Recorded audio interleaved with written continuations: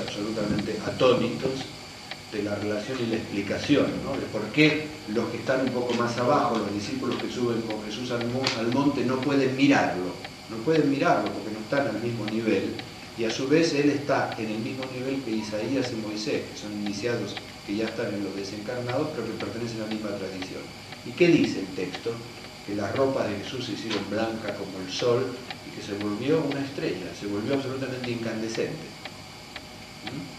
Entonces, ese proceso también es el proceso, en menor medida, y por supuesto teología aparte, a que, eh, el proceso al que aspira el estudiante de Cábala, hombre o mujer, aspira a llegar de lo rojo a través del proceso de fusión sanguínea eh, y de encendimiento sanguíneo a la luminiscencia, a la, luz. Y observe qué interesante.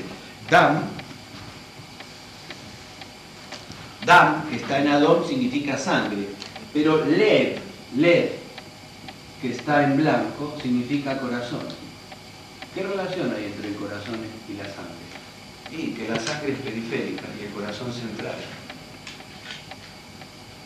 Por lo tanto, ir del rojo al blanco es siempre ir de la periferia al centro, ir de la circulación a la causa de la circulación. De ahí el Sagrado Corazón de Jesús, que aparece como? Aparece encendido, aparece con el fuego lúcido y despierto. Bueno, yo cuando llego a este punto empiezo a temblar por dentro y digo, caray, ¿cómo se puede vivir? ¿Cómo se puede vivir en nuestra tradición sin beber de estas fuentes? ¡Qué desgracia! Qué desgracia para la iglesia haber sido incapaz de transmitir esta belleza y de haber dado de comer estas cosas, que en lugar de alejar a los creyentes, hubieran acercado a los creyentes a una experiencia fisiológica, como ocurre en Oriente, por ejemplo. Donde porque parece un poco complicado para que, ¿no? Porque parece que está hecho exclusivamente para eruditos que puedan... ¿Tenéis esa sensación? Llevamos aquí, no sé, menos de una hora y habéis entendido mucho más de lo que estoy seguro de lo que es posible entender después de años de... Solo falta alguien que te lo explique con cierta coherencia. Me cuesta mucho más. ¿Sí? Y porque esta es tu primera vez, quizá. Pero cuesta cada vez menos, obviamente. Sí. Mira, yo quería preguntar. ¿Y hay cabalistas dentro de la iglesia? Claro. Sí. Por supuesto, hay una cábala cristiana que nace en el Renacimiento. No, no, no, pero actualmente.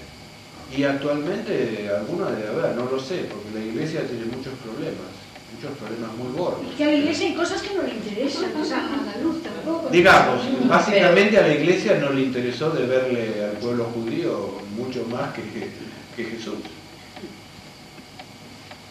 Tomamos el Mesías, pero dejamos este conocimiento de lado, lo traducimos, pero decir que los hebreos todavía tienen este conocimiento de reconocer que ocupan un lugar. Y no, la iglesia no le quiere ver, ver nada a nadie, ni a Platón, ni a la filosofía griega, de la cual tiene mucho, ni a otros místicos.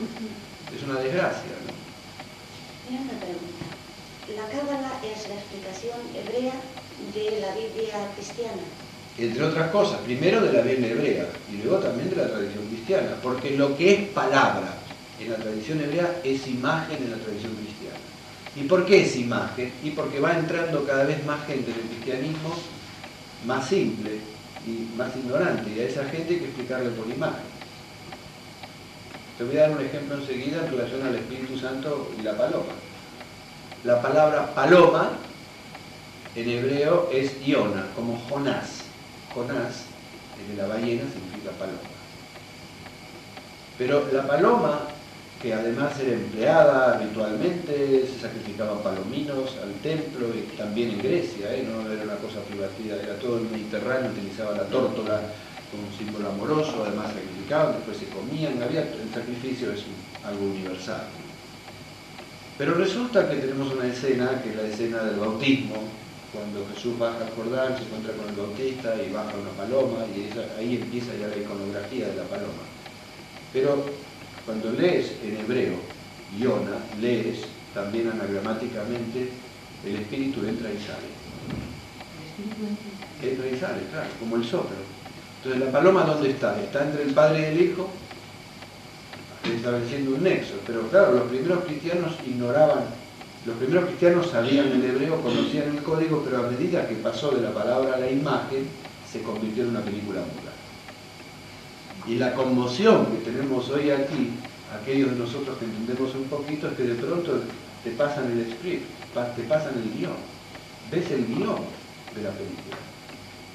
Y con ojos humildes y con ojos sencillos dice, qué belleza, qué arquitectura en los símbolos que llegaron hasta. Mira, en los evangelios apócrifos, ¿la cábala puede decir algo? Es los que son desechados por la iglesia. Mucho, mucho. Sobre todo el evangelio de Tomás. Muchísimo. Se está estudiando en California, creo, el de Tomás, ¿no? Bueno, se estudia en todas partes. Yo, yo mismo doy un seminario sobre el Evangelio de Tomás, es brevísimo. ¿Hay algún libro sobre eso? Eh, sí, en el BAC, Biblioteca de Autores Cristianos, BAC, que es una biblioteca muy importante, consigues los evangelios apócrifos, y entre ellos el Evangelio de Tomás, es que hay muchísimos, pero sobre todo yo diría el de Tomás, que es el más esotérico. Eh, pero no importa, basta que estudie los evangelios comunes, leídos. Yo publiqué un libro en Argentina que primero se editó aquí, que es inhallable, desgraciadamente, que sumariza casi 10 o 15 años de búsqueda eh, a través de, la Cábala y de los textos originales de los evangelios y de la Biblia, del puente, del puente esotérico entre los dos testamentos, más el estudio contrastado de dos eh, sectas muy importantes en la época de Jesús, que son los esenios en el Mar Muerto y los terapeutas, que es el correspondiente al mundo de los esenios en Egipto. Terapeu individuo significa cuidar de uno mismo. Entonces hay un libro de Filón de Alejandría, un filósofo de los primeros siglos de nuestra era, que se llama Dios Teoríticos la vida contemplativa, en la que narra cómo vivían los terapeutas. Y en parte lo compara como vivían los esenios. Después tenemos los textos de Plinio sobre los esenios y nos damos cuenta cuánto tuvo la primera comunidad cristiana de unos y de otros. Médico, cúrate a ti mismo, dice Jesús en el lugar. Bueno, entonces escribió un libro que se llama Jesús Nazareno, cabalista y terapeuta. Lo tienes tú aquí. Bueno, es un libro tengo que decir, escrito con, mucho amor, mucho cariño. Lamentablemente la editorial Kier de la Argentina, que era una de las grandes editoriales espirituales en cierta época, hoy es eh, un desastre y libro está mal editado y todo. Pero ahí yo hablo bastante de esto de rojo y blanco y hablo de otras cosas porque obviamente uno de los aspectos poco estudiados de la vida de Jesús es que era un maestro en el sentido psicológico de la palabra, o sea, un maestro o como un maestro zen o como un maestro sufí, que en realidad deshacía entuertos mentales de la gente a través del conocimiento, aparte de todos los poderes que podía tener, ¿me explico? Y eso está en relación directa con la cábala, por cuanto a él se le decía el verbo encarnado. el verbo encarnado significa que pensaba lo que hacía, hacía lo que era, era lo que soñaba, pensaba, todo en el presente. No había postergación, entre su pensamiento y su acción. ¿Me explico? Increíble, ¿no? Una persona que muere al instante que abandona y nace en el instante que está pisando su pie. El presente absoluto. Lo vamos a ver luego en relación a lo que significa la besorá o el evangelio para la primera comunidad. Bueno, bien, momentito, yo quiero ayudarle un poco a Ana Cristina. ¿Bien? Te es difícil seguir, pero alguna chispa te toca, ¿no? Sí, sí. ¿Y qué es cuando te toca, qué produce? Sí, me llama la atención que, que no esté transmitido, que estemos ignorantes de todo eso. Bueno, no eso, lo mencionar. Eh, eso sería, digamos, una pregunta de tipo sociológico. Yo te pregunto a ti ahora, cuando alguna chispa, pequeña o grande, te toca, ¿qué sientes tú físicamente? Pues sí, pues, pues esa necesidad de, de ir eh, observando cada cosa de la vida para, para entender estos ejemplos de la luz, de los colores, tratando, pensando en mis ojos, pensando en mí, en mi sangre, en mi corazón, sí. como central, en, y en mi, en mi forma de foto, que tiene que ver con todo lo que sube y baja por el cuerpo, con la sangre, tal. todo, como que está circulando en mí toda esa sabiduría, toda esa antigüedad. ¿Y? ¿Y eso emocionalmente qué produce? ¿Nada más? No produce ternura, emoción, gratitud, entusiasmo. Entusiasmo en griega significa tener a Dios adentro. Endo, como endovenosa, endo, teo, Dios, sasmos, tener a Dios dentro de uno mismo. Más que, más que otra cosa, perpleja. Y bueno, porque es la primera vez y además los adultos somos tan desconfiados que queremos controlar todo lo que se nos dice. ¿no? Difícilmente nos entregamos. Yo debo ser uno de los pocos. Yo voy a una, una misa o eh, estoy en una reunión religiosa, religiosa de cualquier tradición y me vuela la cabeza enseguida.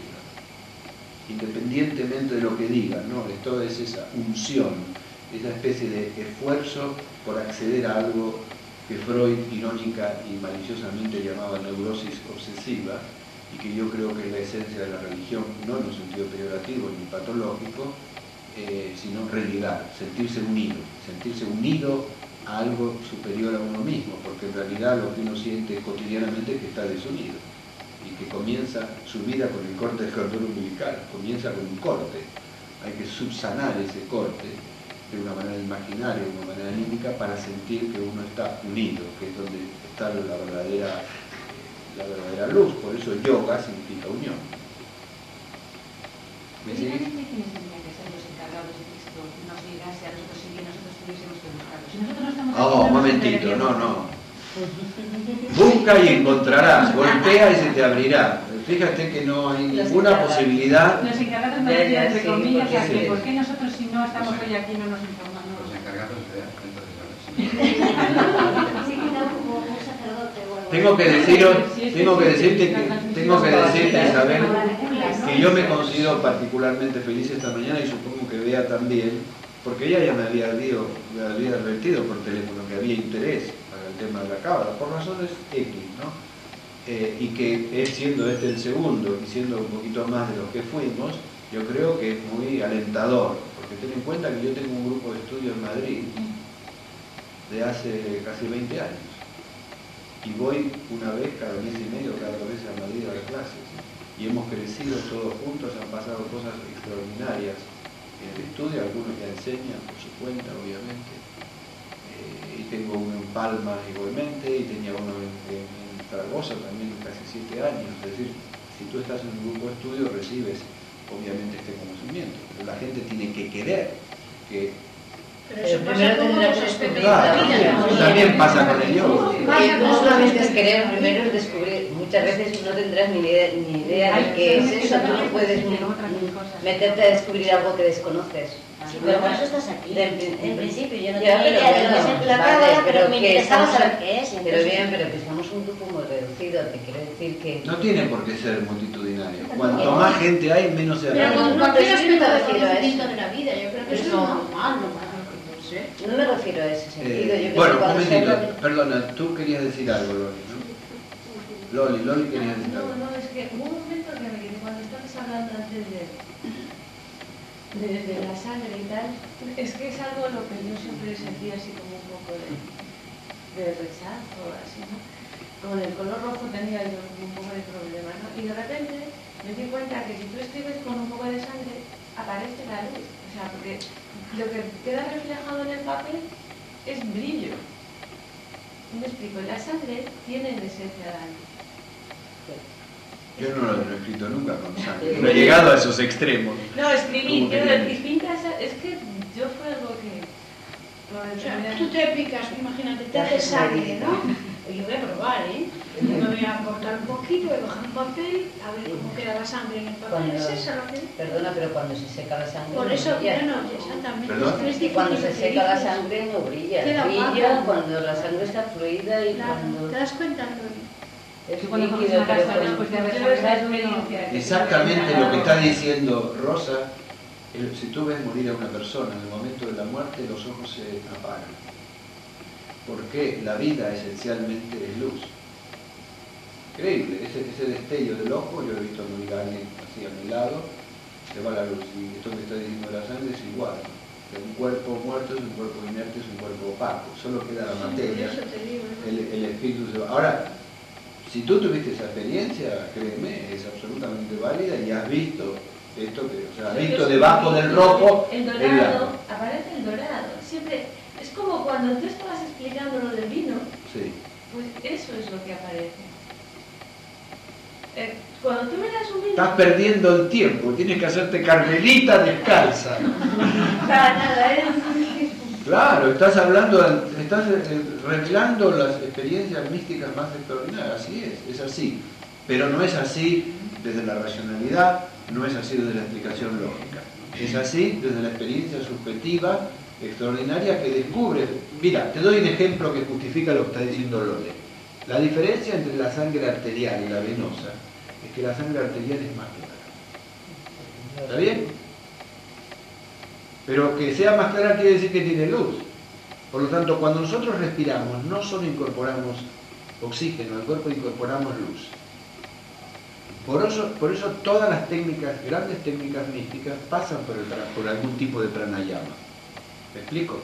Ahora bien, poder ver ese cromatismo es realmente un privilegio. Poder vivir con esa experiencia, una gran dificultad. Una cosa. Mm, mm, quizá es algo, eh, si tienes, eh, si has necesitado una transfusión de sangre o algo similar, cuando ves la bolsa de sangre, es tu vida. Y quizá ese día no, no puede venir tan iluminada porque significa tanto. Pero sin embargo, fíjate, sin embargo la experiencia, También, la mayoría de la gente rechaza esa sangre. Ahí la gente no la quiere ver porque es Claro, algo, claro. Algo asociada, que está es asociada al dolor, al accidente. asociado especialmente al dolor. Y no solo a eso, no solo a dolor, eso, sino que Pero es algo que no tienes sí, ¿eh? Si no es la sangre de otra persona, no es tu sangre. Es decir, No, Claro. La Bueno, de la eso, gente- ese es el tema de la transfusión. Lo que Sí, hablando es una- otra cosa. Yo hablo desde mi, desde mi propia experiencia. Tuve un autopascal de médula y ese día, pues todos los procesos, el día que te extraen la médula y lo ves, el día que llega la bolsita y te la ahí, que está fría de vera, y percibes cuando entra que está fría y te asustas y tal, es tu vida. Dependes de eso. Dependes de Claro, eso. evidentemente. Es el, el único momento de la vida en el que cuando tú eres un golpe lloras y en ese momento es tu sangre y entonces dices, que venga, que venga. que venga. vivo. Ajá. Evidentemente. Pero Bueno, gracias a Dios, el pensamiento que tuviste es eso. Podrías tener un pensamiento de pánico, ¿verdad? Sí. Es decir, que eh, lo que narra Loles y lo que narra tú, narras tú, es también la justificación de lo que estás diciendo. El blanco es la base, el rojo es la cobertura. Por eso San Juan de la Cruz habla de las tres virtudes teologales, que son fe, esperanza y caridad, como de una librea, como de un chaleco que tiene el alma, ¿no? chaleco que tiene el alma que tiene tres colores, que son blanco, mm, verde y rojo. Obviamente la esperanza es verde, el amor es, la fe es blanca y la caridad es roja. Sí, dice San Juan de la Cruz que, lo- que el alma tiene tres colores, que son verde, blanco y rojo, que a su vez se corresponden con las virtudes teologales. Dos ya hemos visto, que son la fe, que en realidad es constitucional, no es algo que tú puedes o no tener, tienes. Porque si el cuerpo no, tenía fe, no tuviera fe en sí mismo, no regeneraría sus células. El corazón, o sea, la fe es algo, es tu brújula interna, que la puedas emplear para relacionarte con ciertos aspectos del mundo o con otros, es otra cosa, pero es constitucional, como el blanco, como la luz que te, que te articula por dentro. El rojo es el amor para llegar a ella y el verde es el trabajo. ¿Por qué el verde es el trabajo? Y porque no puedes trabajar si no tienes esperanza en que algo va a ocurrir. Ya que te paguen. Sí, absolutamente. Tal es el ser humano. Necesita un mínimo de retribución. Es decir, la constatación de que está caminando en una dirección y que es valorado. Que no es... Aunque eso es eh, tramposo, porque siempre los grandes maestros desaconsejan, no solo que tengas esperanza de encontrar algo, sino que, que hagas una transacción de tipo comercial con Dios. Oye, si yo te doy esto, tú me das esto. ¿Qué haces lo que hace la gente, no? Por ejemplo, una promesa. Te hago una promesa, si tal cosa, tal otra, ¿no? Cuando realmente hay que trabajar en el campo del espíritu por amor al espíritu. Hay que trabajar en el campo del amor por amor al amor. Y un rasgo característico que dice San Juan de la Cruz, que yo creo que la cábala tiene, San Juan de la Cruz dice, el verdadero amor no cansa ni se cansa. Es una cosa. Porque ¿cuántos de nosotros conocemos esa dimensión del amor? Poquísimo. Siempre tenemos desilusiones de, uy, esto me cansa. Pero trabajar en este campo, en el que no te cansas, ni cansas a otro, yo creo que puede ser, el amor de madre tiene algo de eso con respecto a su hijo.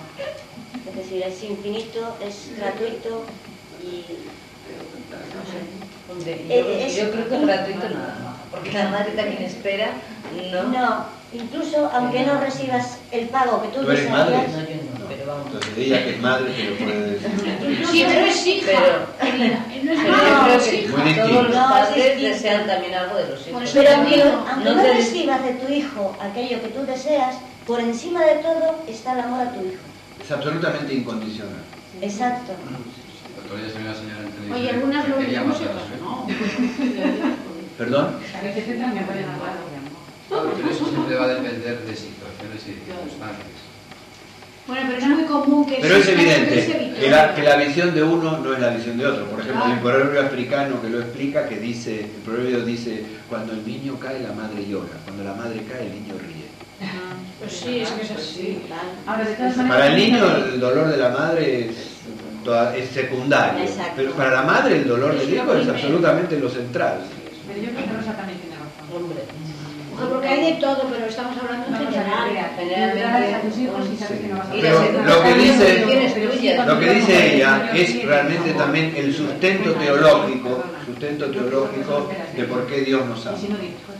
El cuarto evangelio. Es incondicional. Es decir, tú ves madres que pueden tener unos hijos desgraciados eh, que le hieren profundamente durante toda su vida con sus acciones porque pues, van por el camino que, ella no considera pues, que debería ser.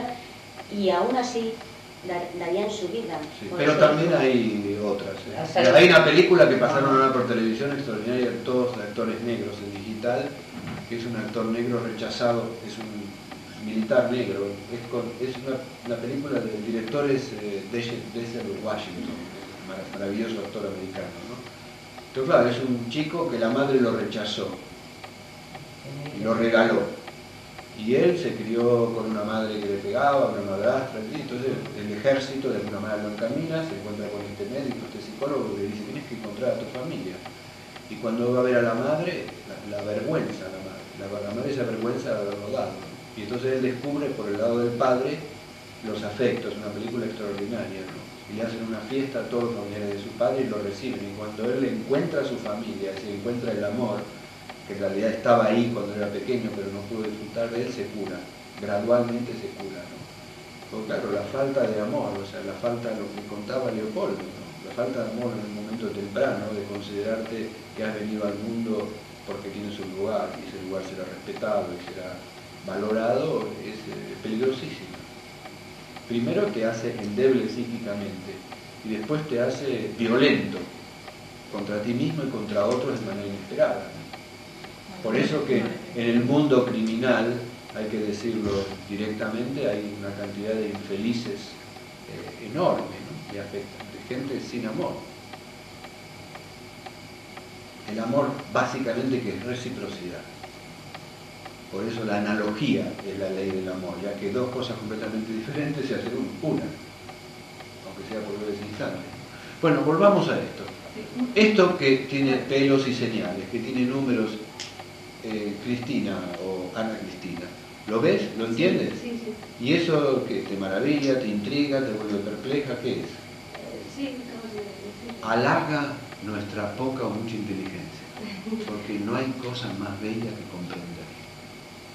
Comprender, digo yo siempre, convierte materia en energía. Me da como hambre, ¿no? Quiero, quiero más.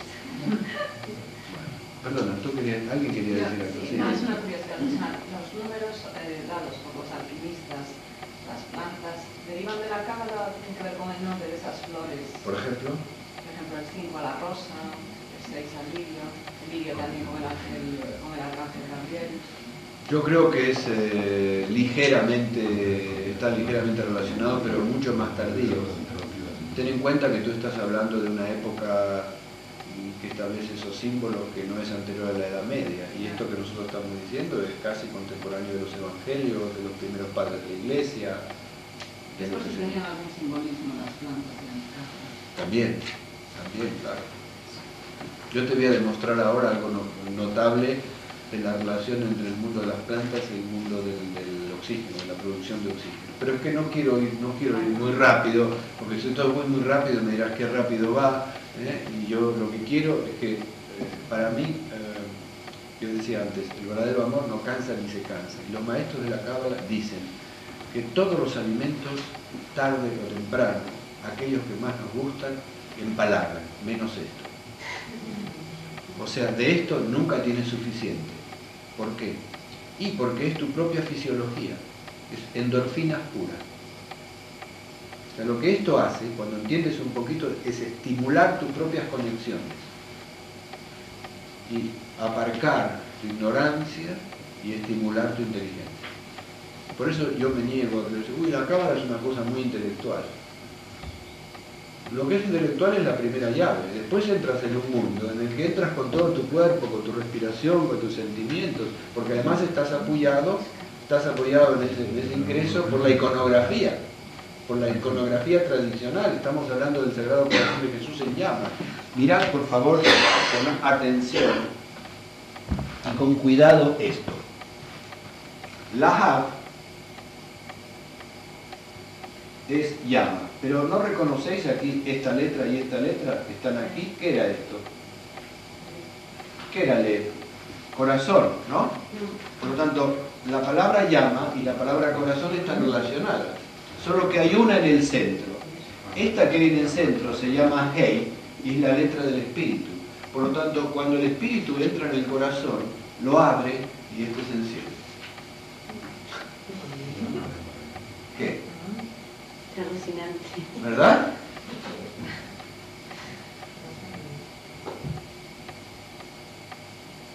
Qué belleza, ¿no? Sería la llama de amor vivos. Absolutamente. A ver si se nos entra la luz. No sé si nos abre el corazón, que tú y yo. Pero como yo le dije, como yo le dije, le dije a los, eh, entender un poquito de esto y, y experimentarlo es un privilegio y un goce vivir con ello una dificultad. Porque, no, pero qué decir que tú imagínate lo que es las demandas cotidianas, las demandas cotidianas, las relaciones cotidianas de, vender y comprar, de luchar por tu lugar en el mundo. Eh, tú vas a una farmacia y dices, tengo el corazón encendido, ¿quiere, ¿quiere que le encienda su cigarrillo? Y le abres así, el tío te dice, este está loco por lo tanto, eh, eh, es, aquí, es aquí donde nace esa maravillosa parábola de Jesús que dice que no hay que dar perlas a los cerdos. Ni margaritas, porque margarita en griego significa perla. Bien, de tal manera que efectivamente estamos aquí trabajando, abriendo las puertas de un tesoro. Os voy a contar una parábola que me contó un maestro, un cabalista muy famoso que se llamó Alexander Safran, que yo conocí cuando tenía casi 90 años en Ginebra. De hecho, yo fui a Suiza invitado a Lausana a dar una conferencia y me enteré que en Ginebra vivía este rabino muy mayor, de origen rumano, salvado en la Segunda Guerra Mundial, especialmente por el rey de Rumanía, que era amigo de su familia, etc. Y escribió un libro que se consigue por aquí todavía, que se llama La Cábala, editado por Martínez Roca, que es un libro muy sesudo, muy académico sobre la cábala, pero realmente maravilloso y con verdades muy profundas. Entonces estuve unas horas con él ya en su biblioteca privada, que fueron muy emocionantes, y con una voz muy débil en francés me contó esta parábola. Me dijo, ¿qué es la cábala? La cábala es como el llavero de San Pedro. Tienes un manojo de llaves, 50, 60 llaves, y te dicen que este es el castillo de la sabiduría tienes que abrir las puertas de la sabiduría con esta llave, pero no te dice qué llave pertenece a qué cerradura. Tienes que probar. Al principio ninguna llave coincide con la cerradura. Cuando encuentras la primera puerta y la abres, te identificas llave y cerradura, te maravillas. La distancia entre esa primera puerta abierta y la segunda es menor que la que tardaste en encontrar la primera puerta. Y así vas identificando. Cuando has abierto todas las puertas, no hay ningún palacio y cuando te das cuenta que no hay ningún palacio, que el mundo mismo es el palacio, te mira las manos y no tienes ninguna llave. Y yo me quedé, me iba poniendo blanco, rojo, marrón, que un hombre de casi 90 años me contara esa parábola era casi la explicación de un programa de trabajo. En el fondo decía, no te desesperes si al final te encuentras tan desnudo como al principio, porque de eso se trata. Pero hay llaves, o sea, hay un trabajo que hacer y una apertura de algo que nosotros no sabemos muy bien cómo definir. ¿no? Y después está lo que se llama la compañía privilegiada, que la iglesia llama la comunión de los santos, con razón, y es la compañía de gente que como tú ha estado buscando y ha encontrado algunas cosas.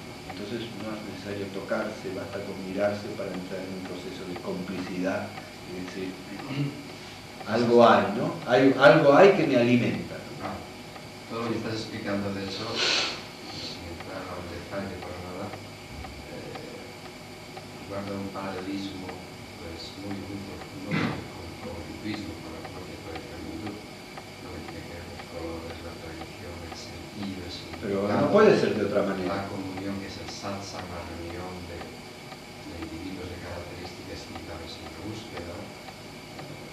Vamos, ¿No es maravilloso que lo encuentres en casa? sí, sí, la explicación es, es- va por la misma línea. Claro, claro. Yo creo, para mí, yo empecé interesándome cuando era un adolescente en el budismo, en el taoísmo, en la filosofía china. Toda mi vida he estado interesado en eso y continúo. Y no encontraba nada en mi tradición. Y cuando encontré el tesoro en mi casa, es como el alquimista de Coelho, ¿no? Te haces un viaje, pero vuelves a tu casa y el tesoro está en tu casa. Es muy... Una vez mi hija mayor me preguntó, en Jerusalén, estábamos charlando, ella tenía cuatro años, me dice, papi, papi, ¿tú a quién quieres más? ¿A Elohim o a Buda? Elohim es uno de los de Dios. ¿Quién quieres más? Y yo le dije, mira, hija mía, de Buda es un pariente lejano y Elohim es un pariente cercano. Uno siempre quiere más a los parientes cercanos. Efectivamente, yo creo que nosotros tenemos más números a favor de entender esta tradición que de entender las tradiciones orientales, excepto en casos como el tuyo, que llevo muchos años buscando, pero normalmente la familiaridad con los símbolos con lo que te rodea, entrar en un templo, identificar estos símbolos, ver una procesión y entender un poco lo que significa la palma, la palmera, todo eso te será más fácil aquí. Ahora bien, si no llegas a ver este fondo, eh, tu corazón grita insatisfecho. Porque yo pienso que eh, el, cuerpo se nutre de cosas sólidas, pero el alma se nutre de poesía, música y altas cifras llenas de significado. Y como el cuerpo llega un momento en que prácticamente está colmado, porque no vuelves a tener, no tienes un número más de calzado, no tienes un número más de talla, es decir, se colma a sí mismo entre los 35 y 40 años, es ahí donde nace el alma, que es la conciencia que el cuerpo tiene de sí mismo. Y el alma hay que alimentarla. Alimentar el alma se la alimenta con estas cosas. Y después hay el último tercio de la vida que es la relación con el espíritu. Y es darte cuenta que el alma no es una creación tuya. Que el alma está depositada en ti como un tesoro de orden superior. ¿no? La relación de, entre Atman con minúscula con Atman con mayúscula. Dime. Bueno, decía yo que esa relación con el espíritu ese último tercio de la vida que tú refieres, Sí. eh, y estableciendo cierta comparación entre Oriente y Occidente. En la India, por ejemplo, hay lo que se llaman cuatro asramas o cuatro estados. Claro. O sea, el estado primero de,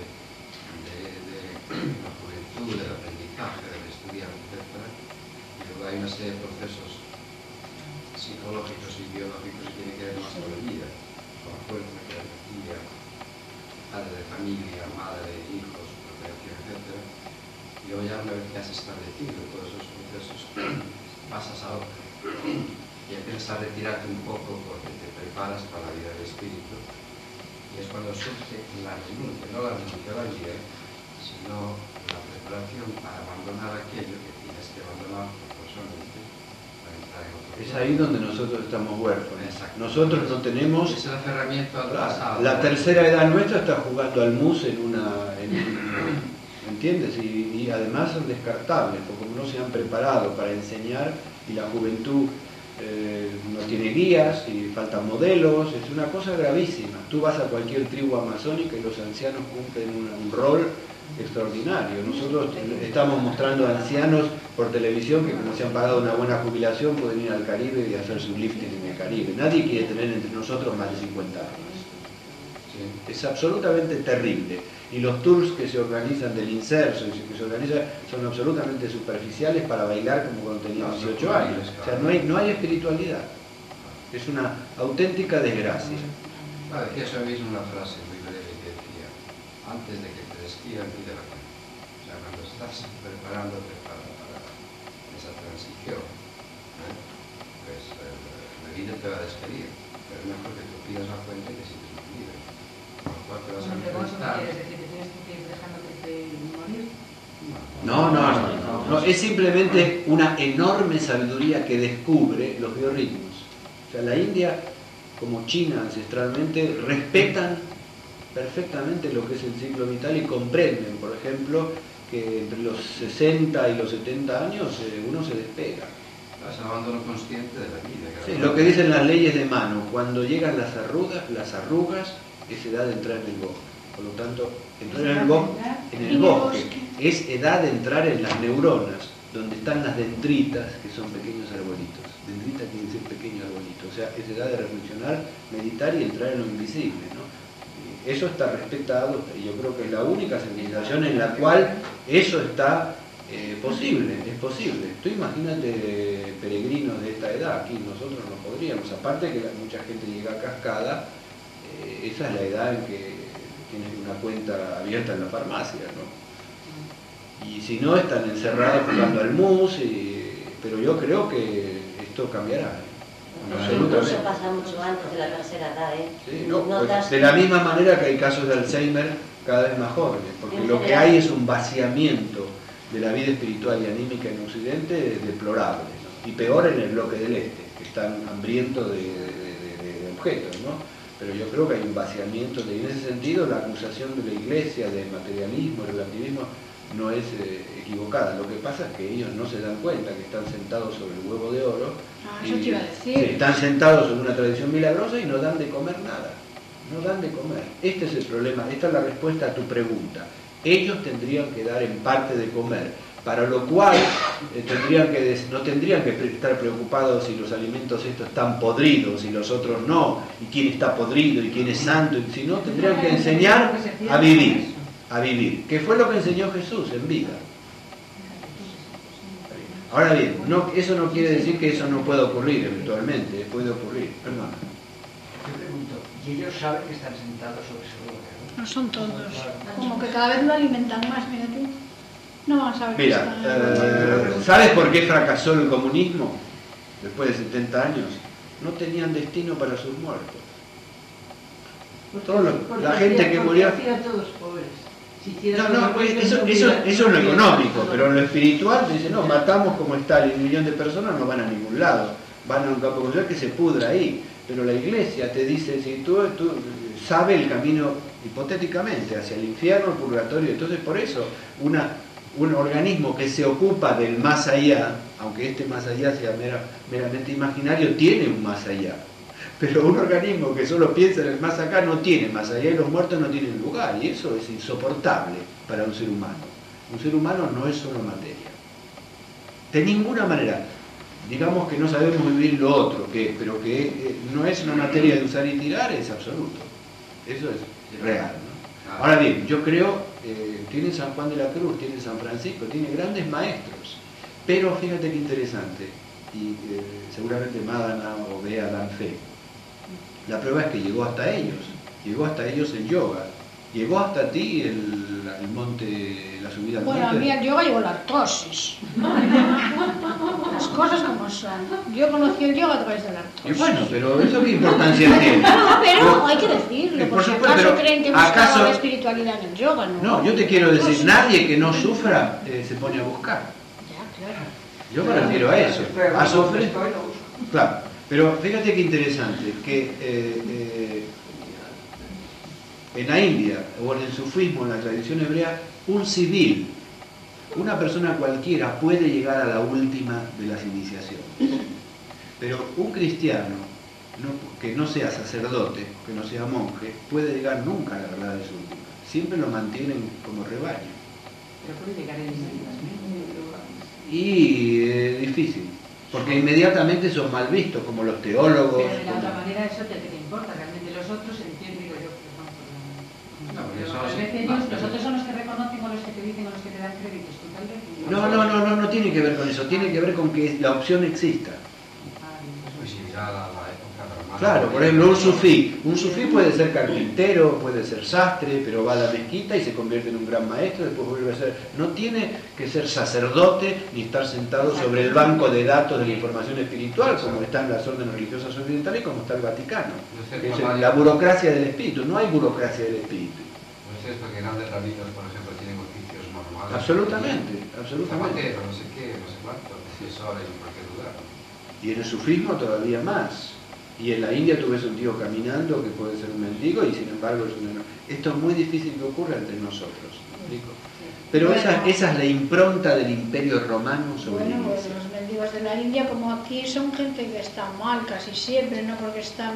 No, pero que entre ellos puede haber gente que realmente... Bueno, también aquí hay un- puede ser una persona que por sus Pero bueno, razones pero mentales centralicemos la, la, calle. centralicemos la clase y respondamos al león. Por supuesto que el tesoro está aquí. Como dice Van Gogh, yo cito siempre esta carta a su hermano Teo, digo esto y hacemos un pequeño descanso para calmar la intensidad, ¿no? Decía en una carta a su hermano Teo, eh, el molino ya no está aquí, pero el viento sigue soplando. O sea, no tenemos los medios para hacer harina y dar de comer a la gente porque están vacíos los molinos, porque no hay esa conexión con la fuente, pero la necesidad espiritual, el viento está relacionado con el espíritu, la necesidad espiritual es igual que siempre. Ahora yo creo profundamente que la iglesia tiene tesoros que ir, a- buscar, ¿no? Que ir a encontrarlos. No necesariamente en las figuras más conocidas, no necesariamente en Santo Tomás, por ejemplo, ni en San Agustín, ¿no? Eh, yo creo que está más en los grandes perdonadores, como San Francisco, San Juan de la Cruz, los grandes místicos que han experimentado transformaciones. Porque una persona que dice, donde no hay amor, pon amor y sacarás amor, como San Juan de la Cruz, o que dice, eh, Dios no entra en ningún corazón que antes no haya vaciado de todo el espacio que necesita para entrar. Nadie que haya experimentado una cosa así puede decirlo. Experimentó siendo un taco de un metro cincuenta, ¿eh? como decía, decía Santa Teresa, este tío, ¿quién es este tío? Porque ella estaba enamorada de, no me acuerdo cómo se llamaba, uno de origen italiano, rubio, de ojos azules, era muy coqueta Santa Teresa en la primera época, estaba enamorada de este. Y sin embargo San Juan de la Cruz se convirtió en su confesor, y San Juan de la Cruz era un ser físicamente eh, intrascendente, ¿no? pero de una nitidez y de una claridad que escucha 500 años después todavía lo leemos y este tío, por ejemplo, describió el nódulo sinusal, que es el lugar donde nace el latido, y le llamó el vivísimo y el sentidísimo punto del corazón. Punto, es un punto donde nace el latido. ¿Cuánto tiene que haber llegado a oír y a oírse para captar una cosa así? ¿Verdad que se llama nódulo sinusal? En fin, hacemos un pequeño descanso de cinco minutos. Bien, ¿no?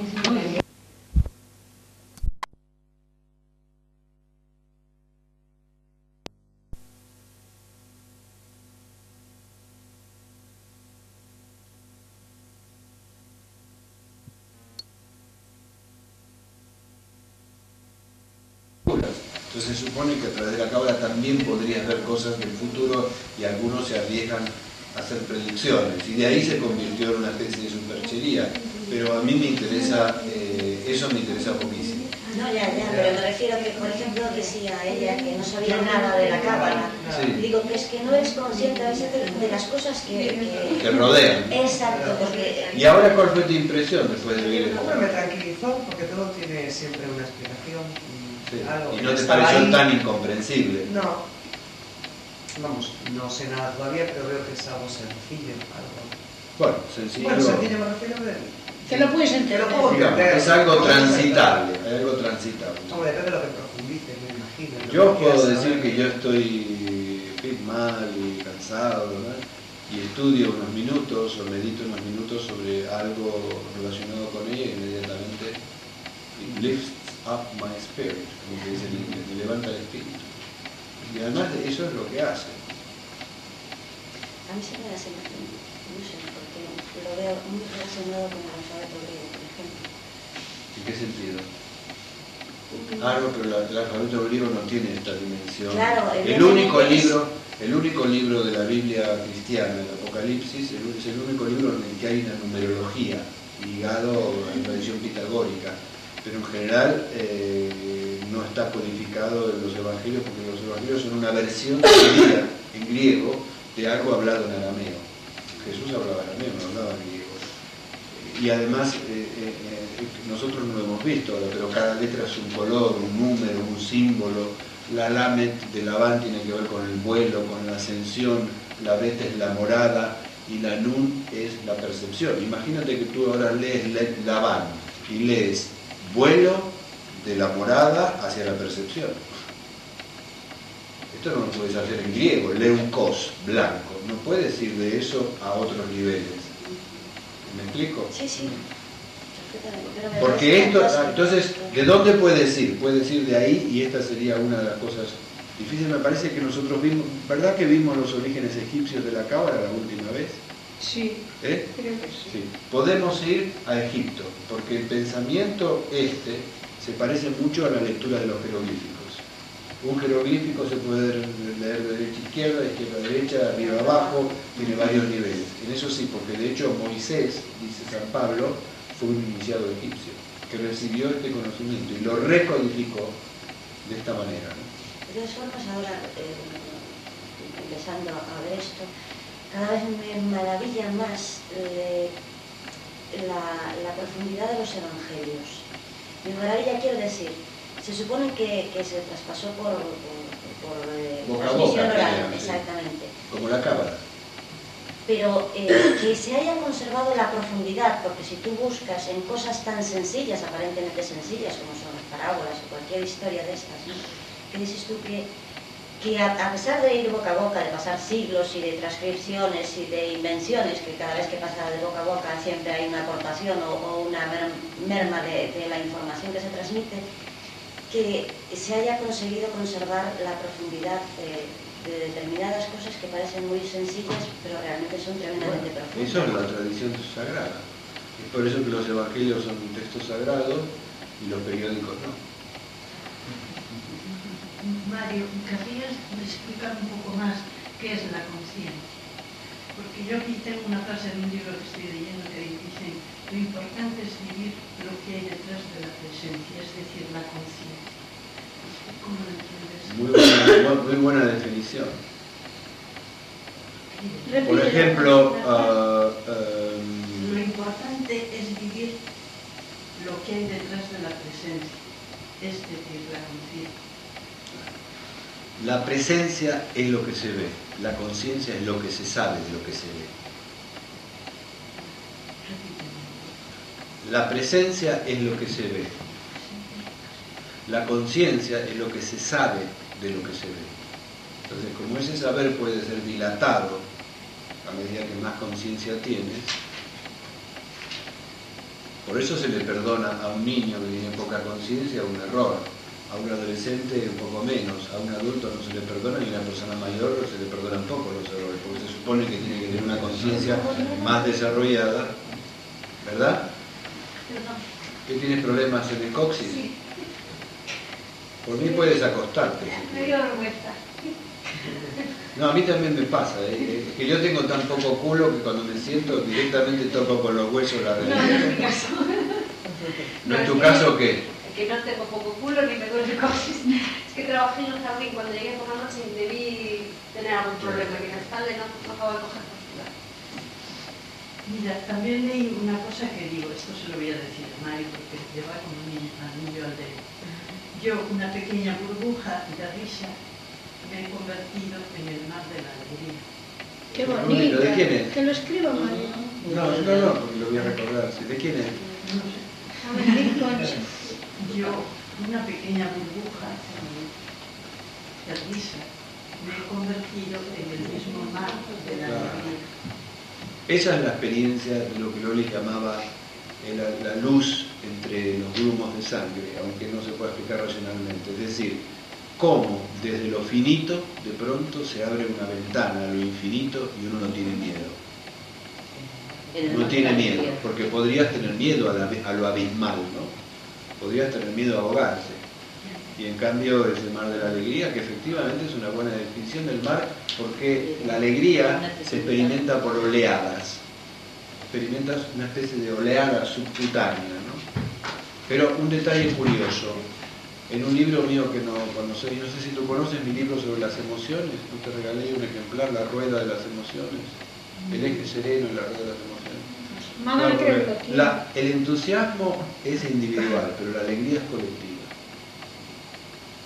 Por eso endothiasmos, tener a Dios dentro. Pero la alegría es un hecho colectivo. No, hay gente que está contenta porque debe estar muy fundida a lo mejor con Dios y esa alegría te da paz. Sí. Estás re- revelándome lo que yo te digo. O sea, hay dos ahí. Está el que la tiene y el que la comparte. La alegría es, es la fiesta popular, claro, claro, es, es la unanimidad. De la misma manera que la burbuja es individual y el mar es colectivo. Ya, y, y, por ejemplo, el, el, el éter es el soplo. ¿Qué, qué es No, el éter es, es, el éter es como las ondas de radio, por eso en la radio decía la- las, las ondas que vienen por el éter. El soplo ya es, es la diferencia, por decirlo de alguna manera, entre el espíritu y el alma. El alma es la intersección del espíritu en el cuerpo. El alma es la intersección del espíritu en el cuerpo. ¿Sabes lo que es una intersección? En geometría. Claro, ¿no? Es un punto. Exacto, exacto. Esta es la zona anímica por excelencia. Eh, y de hecho nosotros no tenemos poder directo, dice el mismo Jesús en los Evangelios, que nadie tiene poder sobre el Espíritu. Sopla donde quiere, oye su voz, no sabes de dónde viene ni a dónde va. Pero en cambio, eh, sobre tu alma, sobre eh, eh, tu alma, tú tienes eh, posibilidades de trabajar. ¿Y cómo se desarrolla la conciencia? Porque creo que Buda estuvo ocho años en meditación y, y todavía sentimos los efectos buenos que es, eso le aportó a la humanidad. Maravilla, ¿no? Pero Después ¿cómo, de miles de años. se, se puede desarrollar? ¿O no, o no, no, no?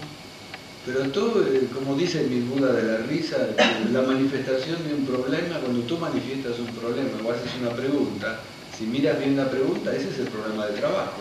Ya, pero es que... Analiza cada palabra, cómo se puede desarrollar y ahí ya empezó el desarrollo. Ya has empezado. Ya, es que yo a veces me hago preguntas y Sí. Pues oído cuando te estás haciendo preguntas ya estás ampliando tu conciencia. eh, una persona que se hace preguntas, en donde viene la pregunta viene la respuesta, Sí, pero sí. yo no encuentro la respuesta. Claro, ¿quieres que te diga por qué? Y porque no puedes hacer dos preguntas tan seguidas. Tienes que hacer una pregunta y esperar la respuesta. Si tú haces una pregunta y otra pregunta, solo eres una colección de preguntas. Es como una persona que está en la puerta de la casa y viene el invitado y le dice, ¿usted quiere pasar? ¿Le gustaría pasar? Y el otro está esperando y dice, sí, porque ¿y ¿con qué motivo ha venido? Porque yo tengo un flan que podríamos comer y si no empezamos con la sopa y tú te quedas en la puerta y no le dices a la persona que entre. Solo porque como eres tan perfeccionista y querrías saberlo todo de entrada. No, no. Es gradual. Es muy difícil aceptar que la revelación sea gradual, pero toda revelación es gradual. Gradual significa y que hay cosas que ahora no sabes, que sabrás después, hay cosas que se irán cerrando a medida que las has, sabido porque no tienes que volver a ellas. Es muy difícil aceptar, ¿no? Además que, como decía con razón eh, Carl Sagan, decía, el cerebro es trino, ¿no? Tenemos tres capas de cerebro. La lo último que se desarrolló es el córtex. Pero el córtex está absolutamente ligado a la posición erecta, porque el córtex es esto. Entonces, ¿qué te permite el córtex? Te permite ver donde tú no estás. Ah, gracias. Y ver donde tú no estás, o sea, hacer una, ver el horizonte y ver todo eso, eh, engendra ansiedad. Porque el cuerpo y la totalidad de tu ser no está donde está tu mirada. Y lo mismo pasa con la- todas las preguntas que has formulado. En realidad te provo- provocan ansiedad porque tú quieres ir muy lejos quedándote quieta donde estás. Y simplemente se hace camino al andar, como dijo Machado, tienes que aceptar eso. Ahora, es muy genuina, muy genuina esa reflexión y esa pregunta, porque eh, en realidad la pregunta es el signo de la apertura. Yo escribí uno de los proverbios, que está en el libro de los proverbios, me parece, no sé de qué lugar del mundo es, pero es absolutamente lapidario, dice así, quien no te hace ninguna pregunta no tiene ninguna respuesta que darte. Es terrible. Quien no te hace ninguna pregunta no tiene ninguna respuesta que darte, porque el que te hace una pregunta está dispuesto a dialogar contigo, está dispuesto a que tú digas y que él diga, ¿no? que haya diálogo. En cambio, quien no te pregunta nada tampoco dice nada. La pregunta es simplemente la apertura y la predisposición a caminar. Pero lo difícil es entregarse. Y más en el momento actual en que uno está acostumbrado al zapping. Estoy, voy cinco minutos a la cábala, no me gusta, me voy al taoísmo, no me gusta, me voy al yoga. Entonces uno no tiene paciencia y ningún, de ningún huevo eh, eh, que esté empollando una gallina sale algo si la gallina se levanta antes de tiempo. Hay que estar sentado un tiempo sobre algo y meditar y trabajar para ver frutos, sin duda. ¿eh? ¿Hay posibilidad de, aprender, no sé, que haya foros a través de internet o algo así? Porque, es decir, si tú quieres seguir ampliando este conocimiento, evidentemente al principio es como que te echen a la piscina sin saber nadar. ¿eh? Tendrás que tener digamos, una línea que seguir al principio. Sí, hay un sitio con el que yo colaboro de la Argentina que se llama El Huerto del Nogal entonces tú picas en internet el huerto del nogal y vas a ver que hay artículos, hay cursos, hay cosas sobre Kabbalah, ¿no? Y es bastante fiar, incluso habrá alguna cosa mía también. Es que a veces dices tú... Puedes hacer preguntas... Cantidad de cosas que, que, te interesaría, dices, nada, si no es Madrid o Barcelona, pues como que no existes en el mundo, ¿no? Cuando no están en, esos lugares. Bueno, perdona, yo me ofrecí muchas veces a venir aquí y ahora, por ejemplo, somos más que el grupo que yo tenía en Zaragoza para venir, ¿eh? eran 10 personas, claro que a Zaragoza iba en tren, pero yo con muchísimo gusto puedo venir dos veces al año, si me invitáis a hacer un Sí, lo que pasa es que luego cuesta reunir claro. el grupo muchísimo. Si yo lo digo, ¿no? Posible, a mí me costó la gente se tiene que comprometer. Claro. Bueno, aquí ellas saben lo que costó reunir el pequeño que somos ahora ha costado meses de... Pero bueno, uno puede, uno puede ir caminando. Piensa que yo eh, eh, llevaba tres o cuatro años estudiando Kabbalah y no entendía nada. ¿eh? Y había leído en todas las lenguas que conocía, esto ya había empezado a estudiar hebreo y todo eso, y había estudiado un año de griego para ver los evangelios, me había esmerado muy bien, hasta que un día me tocó la gracia en Jerusalén, tengo que decir, me caí de rodillas y comprendí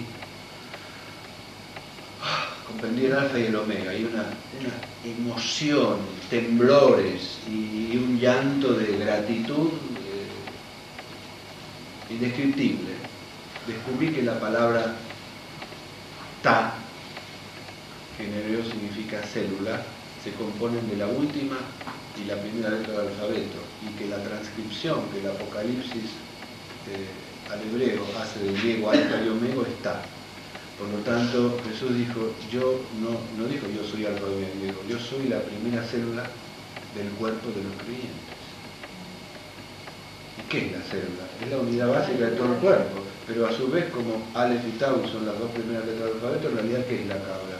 Y es una célula a través de la cual entras a un cuerpo neumático, que es el cuerpo crístico, del que habla la iglesia. Pero para que ese cuerpo crístico sea un cuerpo, un cuerpo de conocimiento activo, tienes que golpear para que se abra la puerta, tienes que trabajar, tienes que sentarte sobre el huevo, tienes que sentarte a trabajar, desde luego. ¿eh? Lo que... Perdón. No, ah.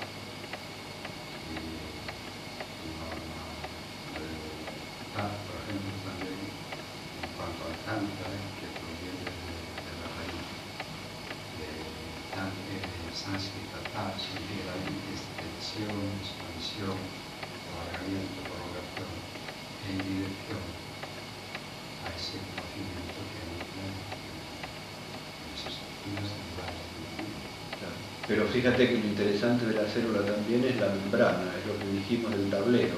Es decir, la célula es autocontenida, tiene una porosidad, pero también tiene individualidad. A mí una de las cosas que más me interesó investigar en la tradición cristiana es eso del cuerpo crístico. No solo la conciencia crística, ¿qué es eso? porque la conciencia crística es vertical, pero el cuerpo crístico concierne al misterio de la comunión, por un lado, desde el punto de vista de la liturgia y simbólica, y en un plano espiritual es, es, Advaita, ¿no? es la no dualidad. Si tú accedes al cuerpo crístico, como accedes en el budismo a la mente búdica, accedes a la totalidad, a la no división y navegas en ese campo virtual con una sensación de fraternidad y de pertenencia. Nada horroriza más al ser humano que el absurdo y la falta de sentido. Es terrible, es el comienzo de la destrucción y el camino al suicidio. O sea, que uno no encuentre sentido para su vida y que la vida le parezca totalmente absurda. Es una de las características previas al suicidio. Bueno, ¿cómo se soluciona eso? Y bueno, hay que, reconocer que otros caminaron antes que nosotros. Hay que reconocer que quienes caminaron antes que nosotros han abierto un camino y que ese camino ha sido bueno para ellos y para muchos otros. Por lo tanto, hay que reconocer la maestría. Y con tanto conocimiento eh, como tiene la Iglesia y todo esto que estás diciendo, qué, defecto, qué defectuosos somos los seres humanos porque no tiene nada que ver con la realidad de la iglesia ni con la realidad de lo que se vive en la vida cristiana, todo lo que estás contando. Quiero decir que, que la teoría es hermosa y interesante, pero que no se lleva para nada a la práctica, porque la iglesia no representa para nada todo lo que estamos hablando absolutamente para nada. yo creo que ni la católica ni ninguna. Pues por eso, bueno, no, no sé. Yo solo conozco la católica, claro.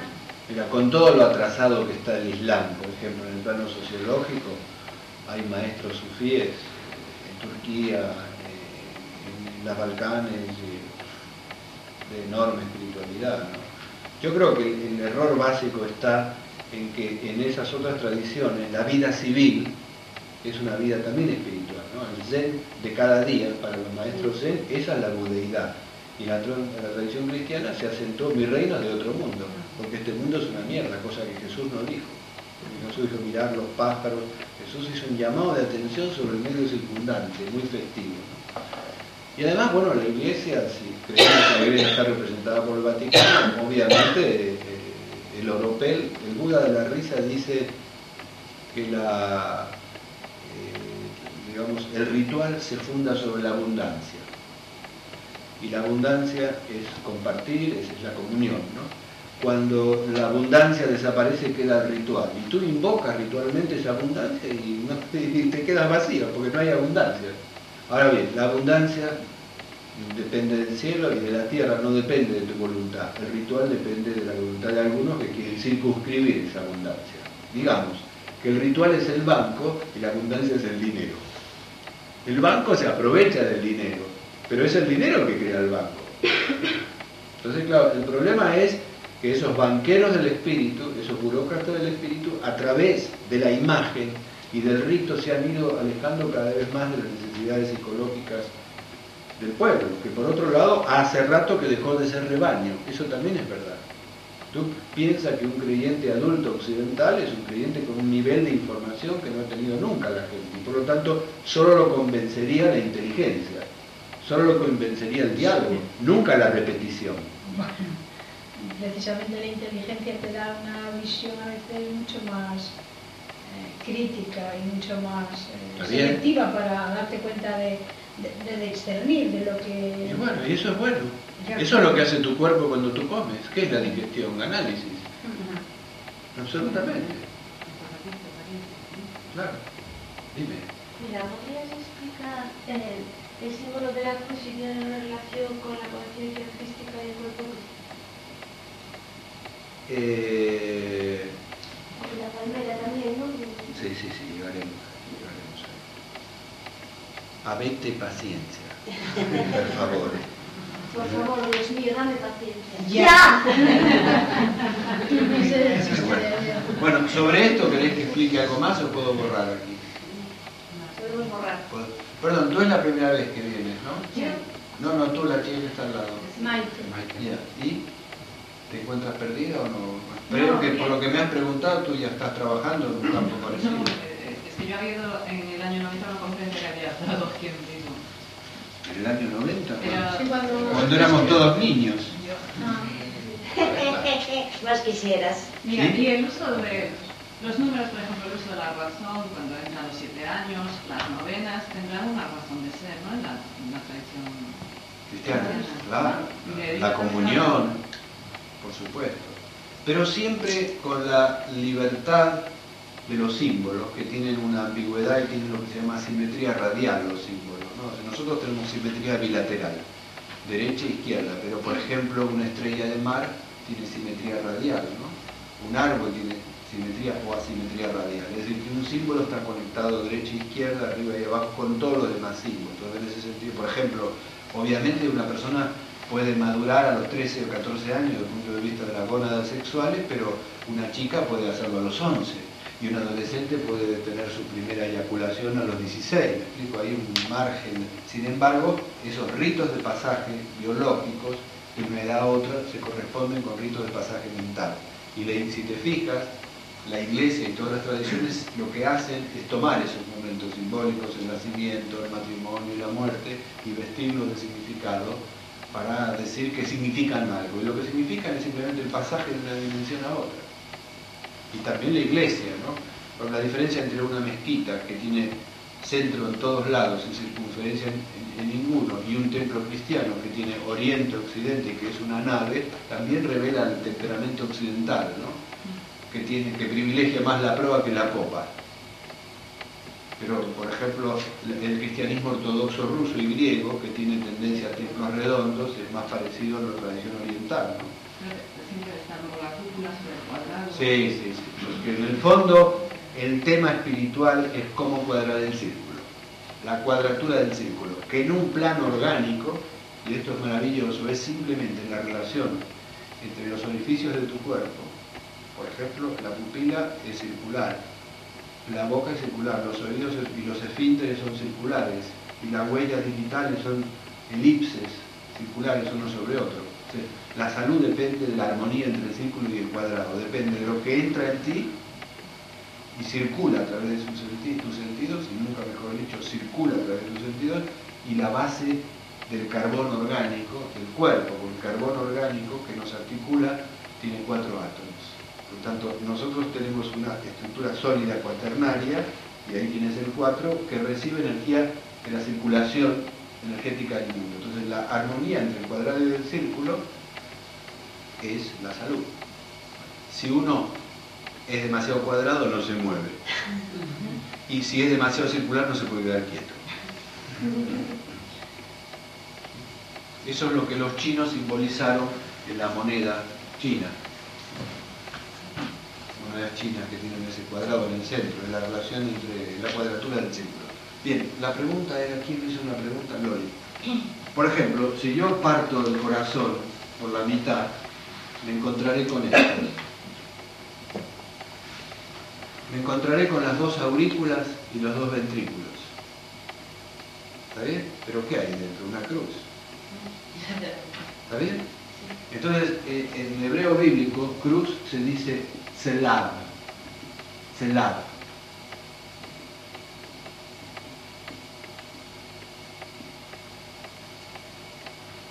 Celab es cruz.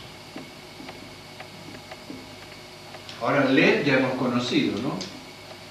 Lev era corazón. Pero lo que no sabemos es lo que quiere decir Tzel. Y Tzel es sombra. Tzel, sombra. Por lo tanto, en la sombra interior del corazón hay una cruz. Bien. Esto es lo que sabe San Pablo cuando escribe en una parte de los evangelios, así como traemos la imagen del hombre natural, traemos la imagen del hombre sobrenatural. El primer Adán representa el viaje del uno a lo múltiple, el segundo Adán representa el retorno de lo múltiple a lo uno. Y para, eh, para eh, San Pablo, este Slav, que significa cruz, ya está presente en el Génesis, donde se dice que el hombre es imagen y semejanza de Dios. Porque imagen es Betzelem. Betzelem. Betzelem es a imagen. Por lo tanto, en algo, algo en la en el corazón, en la imagen del corazón, ya me comunica con lo divino, en el primer Adán. Pero el segundo Adán habla desde la interioridad de su cruz, antes aún de ser crucificado. Por eso los padres de la iglesia creyeron que la crucifixión tenía que ocurrir.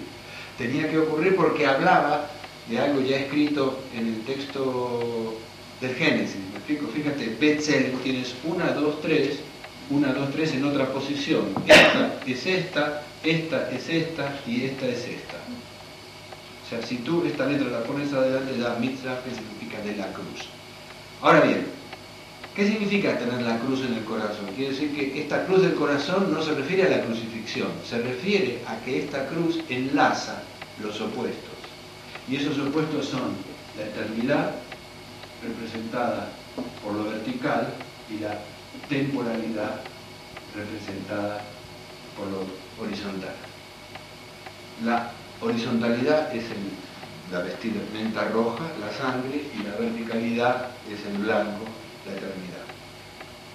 Entonces la doble naturaleza de Jesús también está representada por la cruz porque Él une los dos polos, lo, temporal y lo eterno. ¿Desde dónde? De la experiencia cordial, de la experiencia del corazón que hace eso. Este, une los opuestos y permite un reciclado permanente, ¿no es cierto? Que es el reciclado de la vida, ¿no? Porque el corazón es el órgano más enfermo, dijo Yehuda Levi, el poeta y cabalista hebreo español en el siglo XI, el corazón es el órgano más enfermo del cuerpo y también el más sano. ¿Por qué es el más enfermo? Porque se hace cargo a través de la sangre venosa de toda la basura que el cuerpo arroja en la sangre, para llevar esta sangre a la periferia del corazón en donde será reciclada y renovada. Mira qué trabajo. ¿Por qué el amor se relaciona con el corazón? No, se relaciona en general con el corazón porque ese es el lenguaje del Hijo. En nombre del Padre, del Hijo, Espíritu Santo. Cabeza, corazón, pulmones. Por mí, por mí se va el Padre. Por el, por el Hijo, por el corazón se va la cabeza. De hecho, hay el circuito menor, que es el circuito de la sangre que va hacia arriba y el circuito de la sangre que va hacia abajo, ¿verdad? Corregidme, vosotros sois profesionales. Entonces, eh, el, corazón simplemente se relaciona con el amor porque los latidos es la alteridad. Yo, tú, yo, tú, yo, tú. Pero por encima de la... Sí. Bueno, a ver, quién, a ver quién me puede decir que es primero, la diástole o la sístole. ¿Quién puede decir? Y por supuesto, desde el punto de vista de la educación de una criatura, primero tiene que construirse un yo para después desmontarse. O sea que la construcción del ego es inevitable, ¿no? Perdón, un segundito, un segundito. Entonces, eh, evidentemente la sangre que llega al cerebro antes pasa por el corazón. Por eso corazón dice Jesús, por mí se va el Padre, por el corazón se va la cabeza. Pero ya sabemos lo que es el Hijo. El Hijo es la manifestación, el, rojo, es la temporalidad, es la encarnación del verbo, etc. ¿Qué es el Padre? El Padre es lo ilimitado, la sabiduría, lo oculto. Porque se sabe cómo viene el Hijo del mundo porque sale por la madre. Pero ¿quién es el Padre? Al Padre no se lo ve. Por eso en la tradición hebrea se dice que es judío el que nace de madre judía. El padre no tiene la menor importancia. No, no, es así. Los hijos de mis hijas, nietos míos son, los de mis hijos son es cierto de que no, que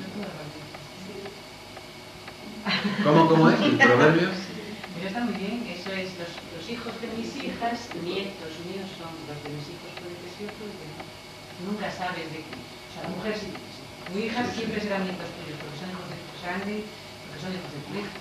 El padre no sabemos, yo puedo decir que son de mi marido después que sean de otro. Bueno, no, no hay que ser tan duro.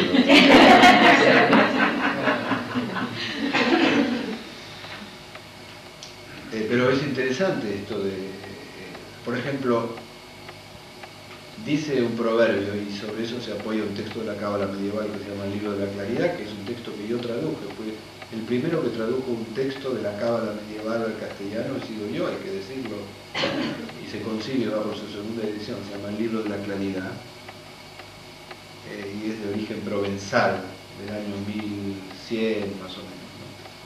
Dice así, eh, citando un proverbio, nunca se sacia el ojo de oír y el oído, nunca se sacia el ojo de ver y el oído de oír, en el sentido en que lo que pasa por la cabeza, por ejemplo, ahora yo no sé lo que estás pensando. Y tu pensamiento no tiene principio ni fin. Pero en cambio, si hablara como hablo yo, las palabras tienen principio y fin. Y las palabras para la Biblia nacen del corazón. Porque lo que sale de la boca, dice Jesús, del corazón sale. Con un doble significado, de que uno revela a través de lo que dice la verdad interna de su ser, lo quiera o no. puede revelar la mentira de su ser. Claro, por eso, por eso, si tienes un corazón aviso, si tienes un mal corazón también.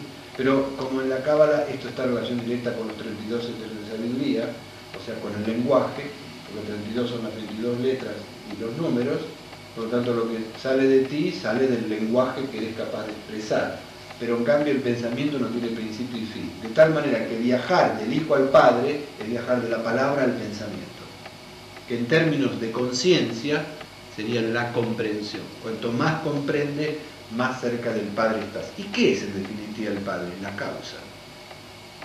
Porque en realidad, ¿desde dónde se regula el latido? Desde el hipotálamo. El, latido aparentemente tiene autonomía aquí, pero se regula desde un nivel más alto, ¿verdad? ¿Está bien? No, decirme, porque tú también eres enfermera. Ah, yo pensé que era así. Pero como si fuera que sabe mucho ella. Eh, entonces dice el Bair, eh, pero nunca se sacia el ojo de ver y el oído de ir, y dice que, además hay una explicación simbólica maravillosa, ¿no? Fijaos qué interesante, la palabra, ah, eh, lo que hay aquí dentro se llama aurículas, y aurícula en latín quiere decir pequeño oído. Por eso la, transmisión de la enseñanza del corazón es para palabra, es oral, oral básicamente. Porque además se parece a una oreja. Yo cuando lo escribiste dije una encrucijada en vez de una cruz. Y el versículo es... Momentito, momentito. Eh, ¿Y es mejor o peor una no, porque una encrucijada tiene una, una connotación de que... Claro, pero claro, porque es, como, fíjate qué interesante, yo dije que me volé la cabeza con la palabra ta, que significa eh, eh, célula, célula. Pero ta también significa celda, porque una celda en una prisión es una célula. Entonces, para ti el conocimiento puede ser celda o sea, puede ser cautiverio o puede ser célula. Si eres célula, estás viva y no te sientes aprisionada dentro de ti misma, pero si eres célula, estás aprisionada dentro de ti misma. Por eso hay tantas diversidades en cosas. Digamos, hay diversidades, hay matices, pero es evidente que una persona eh, puede sentir que está en el cielo o que está en el infierno. Hay infierno, purgatorio, como dijo el Papa Boitila, dijo, hay infierno y fotoño, primavera y verano. No, pues es la interpretación como todo, la botella medio llena, medio vacía, eh, Sí, pero eh, medio, y vacía son las dos opciones. Es decir, yo creo que efectivamente eh, uno puede vivir su vida como templo del Espíritu Santo o vivir su vida como una cárcel corpórea de la que quiere irse. Piensa que la tradición griega ya se enfrentó con ese problema y llamaba al cuerpo soma sema. Eh, el soma, el cuerpo es una tumba, era un juego de palabras. Entonces, si el cuerpo es la tumba del alma, no des un paso más. Pero si el cuerpo es la encarnación del alma, que es lo que piensa la tradición bíblica, cada instante es un florecimiento. Y hay un momento que tienes que decidir, hay un momento que tú tienes que decidir, es decir, yo de qué lado camino. Camino del lado de la luz o camino del lado de la sombra, que no quiere decir necesariamente bien y mal, quiere decir voy hacia la cauterización y el láser y la luz cauteriza la realidad, o voy cada vez más al mundo de la sombra. Esta es una respuesta para ti, Leopoldo. Entonces, si uno no sabe, dice, bueno, yo, eso existe, yo no sé, ¿qué hago? Y hay que buscarse un maestro. Si yo quiero aprender a hacer el pan, también, sobre todo que tenga buenos sentimientos. Eh, esa expresión. Yo ni la escuché, Pero qué mal pensada, ¿qué? Realista, realista, ¿verdad? Es que de una maestra que tenga buenos sentimientos, un maestro no te expresas igual, del subconsciente te También, traiciona. también. Ya, normal. Yo no digo nada, lo, di- lo dijo ella y estoy de acuerdo conmigo. Bueno. Por ejemplo, si yo quiero aprender carpintería y no sé carpintería, voy a ver a un carpintero que me enseñe lo elemental. ¿Por qué pensar que en el campo de lo anímico, en el campo de espiritual es diferente? Es igual. Sí, las tradiciones que- O sea, tú escoges, o vas a una farmacia y te dan medicamentos, o vas a ver a un maestro o una maestra que te dé enseñanzas. Los medicamentos que harán y barrer el polvo debajo de la alfombra. La limpieza nunca será completa porque te bueno, echar todo aquí y todo por fuera muy bien. Y el maestro que te dirá, no, coge la alfombra, sacúdala, trabaja en la limpieza de tu ser, así te cueste un año, desintoxicarte de las malas palabras, los malos pensamientos, la herencia desgraciada de una familia que no fue buena contigo, los desencuentros con Mengano y Perengano, y decide a partir de este momento que vas a vivir una vida libre, genuina eh, y al servicio de lo mejor de ti mismo. Esa es una decisión que hay que tomar en un momento determinado, y hay que tomarla. Incluso yo no creas que, que he hecho toda mi vida lo que hago ahora, viajar en avión y dar clases. Yo he sido obrero en una fábrica de, joyas, de piedras eh, semipreciosas en Nueva York, he sido ayudante de cocinero, he sido camionero, he tenido muchos oficios en mi vida. Y no hay que hacerle ascos a las dificultades. Él me preguntó, me preguntó Antonio, Antonio Leopoldo. Le, damos- le hemos dado vuelta como un guante. ¿eh? Me preguntó eh, que la puerta ancha es la puerta de la perdición y la puerta estrecha es el lugar por que hay que pasar. ¿Qué significa eso? Bueno, hay que asumir las dificultades. Ya conocer la historia de esos dos hindúes que van caminando por el bosque, dos meditadores, y de pronto se les aparece eh, Krishna, un, dios azul maravilloso, y dice, oh Krishna, Krishna, le dicen los dos, sube al cielo y pregúntale a Brahma cuántas reencarnaciones me quedan para ser liberado. Entonces sube Krishna, ¿sí? o le pregunta a Brahma, viene abajo y le dice a uno, al primero que le pregunte, te quedan 10.553. ¡Uy, qué horror! Se empieza a golpear la cabeza contra la pared, no me liberaré nunca. Sube ahora y pregúntale por mí, dice el otro. Entonces sube y baja y ¿a ti cuánto te quedan? Te quedan 200.315. Dice, nada más y en ese momento se libera. Depende de cómo uno decida abrir la puerta a, esta, a, este, a, un camino espiritual y estar dispuesto a entregarse, que es la parte más difícil. ¿no? Es lo que en el Evangelio, bueno, en, la, tradición cristiana se dice, hágase tu voluntad así en el cielo como en la tierra, lo que significa no mi voluntad. Y eso es muy difícil, porque uno siempre quiere su voluntad. De ahí el chiste, hágase tu voluntad, pero ojito con lo que Pero eso sería otro tema, ya entrar en la forma de decisión es mucho más complicado. Hay una frase de Tagore que a mí me parece maravillosa y que la, la iglesia cristiana nunca hubiera podido aceptar, no aceptaría nunca como, eh, eh, digamos, eh, pretexto de un trabajo espiritual ulterior. Y dice así, eh, Dios creó al hombre y el hombre para agradecerle creó a Dios. Pues la clave está en la palabra gratitud, obviamente, pero eso es pensable en el pensamiento occidental, pero en la India es perfecto, en Oriente es perfectamente posible, por cuanto hay una interacción, hay un tablero en el que estamos jugando, ¿no? la totalidad del mundo y una parte del mundo que soy yo. En la medida en que yo voy entrando en la realidad y voy desentrañando la realidad, me di cuenta de que el carbono de mis células es el carbono de los árboles, que mi cabellera es un bosque, que un ojo mío es la luna, el otro es el sol, que mi corazón es el centro del sistema solar de mis órganos, que la sangre que circula por mí es la luz que circula entre las estrellas. Y me diréis, como le dice el público, le dice a Putay en el libro, dice, bueno, no le hagáis caso, es un poeta. Bueno, no hagamos caso de la gente que dice cosas que cauterizan nuestras heridas. Así seguirán abiertas.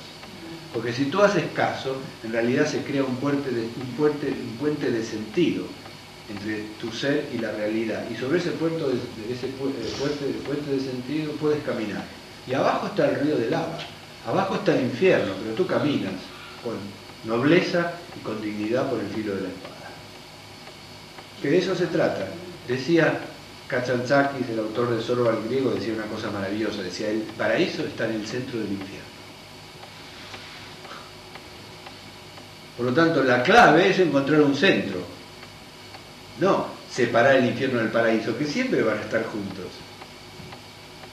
Es una frase absoluta, o paradisos ine stokentro tincolasis. El paraíso está en el centro del infierno. Bueno, ¿alguna otra pregunta, por favor? Sí. Brevemente, sí, sí. Es oportuno. La, la explicación que da la Biblia de la creación del mundo, mundo se creó en seis días y Dios lo creó siete días más otro lado. Y si realmente hay conocimiento de la vida de Jesús, esos 18 años o los que fueran desaparecido, Hay especulación, pero yo creo que sí. Y además tampoco tiene importancia, como toda la teoría, de la parte más débil para mí de, esta, de este libro divertido, por otro lado, que es El Código da Vinci, estuvo descendencia con la Magdalena, se acostó no se acostó con la Magdalena, estableciendo una genealogía dinástica a través de- de esa figura, me parece una puerilidad, porque la enseñanza de Jesús, que es lo verdaderamente importante, no tiene filiación, no importa quién, de dónde viene, no importa cómo él vive. Que ese libro es un poco oportunista, ¿eh? A ese bueno. nivel. ¿Eh? Yo creo que es divertido. No que Pero pedir- oportunista me refiero en ese sentido, tal como Eh, perdona, más que oportunista te diría que en este momento hay una cantidad de cosas sincrónicas que confluyen a hacer de ese libro el éxito que es. Y es Bueno. la, la evolución de la mujer, la necesidad de la mujer de entrar a, a- a tallar en el mundo espiritual, Pues de que la iglesia cambie, cambie su misoginia. Eso me parece extraordinario. Ese aspecto. Ahora bien, se sostiene, muy pocas de las tesis se sostienen eh, y además cuando lo terminas de leer no lo volverás a leer más. Yo no lo volveré a leer nunca más. Pero no me pareció mal. Pero lo que sí es interesante es que yo no estoy para nada de acuerdo a desvirtuar la escena evangélica en la cual le dicen, maestro, aquí están tu madre y tus hermanos. Y él dice, mi madre y mis hermanos son los que hacen la voluntad del Padre que está en los cielos. Esa es la verdadera espiritualidad. Uno tiene una familia espiritual y tiene una familia carnal. Y a medida que avanza y que vive, más importante es la familia espiritual que la familia carnal, de donde viene. Afortunados aquellos, digo yo, que en la familia carnal encuentran la familia espiritual. Pero es muy difícil. Entonces, si Jesús niega y dice, mi madre y mis hermanas son menos, importantes que mi Padre que está en los cielos, ¿por qué ahora lo van a hacer casarse, tener hijos? Todo eso me parece una trivialidad. No es como decir que la vida del Buda en el palacio anterior a su eh, iluminación y su eh, aventura espiritual es más importante que, que haber abandonado todo eso. ¿no? ¿Me explico? De ninguna manera. ¿no? Y por lo tanto, eh, hay teorías sobre si estuvo en Egipto, si estuvo con los esenios. Yo creo que lo que hay que hacer es leer. Hay que leer esas palabras, hay que ir a los padres, hay que seguir la línea que va de los primeros apóstoles a los padres del desierto, de los padres del desierto a los grandes místicos bizantinos, Gregorio Palamás, etc. Y después hay que ir a San Agustín, hay que ver a los grandes maestros de la tradición cristiana y como dijo el mismo San Pablo, de una manera lapidaria, cosa que también se podría aplicar a él, dice, examinadlo todo y retened lo bueno. Qué frase, ¿eh? Exami- ¿Y qué es lo bueno? Yo diría, lo bueno se mide por lo que te nutre. O sea, lo bueno se nutre por lo que te alimenta. Hay alimentos absoluta, hay cosas absolutamente indigestas. Si eso es indigesto para ti, no es para ti. Pero si eso te nutre y te articula y te permite respirar mejor y ser mejor, bueno, ese es el alimento. ¿Os dais cuenta qué importante es esto? No? Bueno, con respecto al Génesis, el Génesis es un libro simbólico, no es un libro que se pueda interpretar literalmente. Esos seis días son simplemente las direcciones del espacio, son simplemente una extensión de la misma palabra Bereshit, ¿eh? porque Bereshit se puede leer como Barashit, que significa creó seis. Entonces, ¿qué hay? En seis hay las seis dimensiones del espacio. Delante, detrás, derecha, izquierda, arriba, abajo. Cuando lo lees así, cuando lo lees desde el punto de vista simbólico, no se refiere a nada literal. Y de hecho la Biblia no es para nada un libro literal. Es un libro polifónico.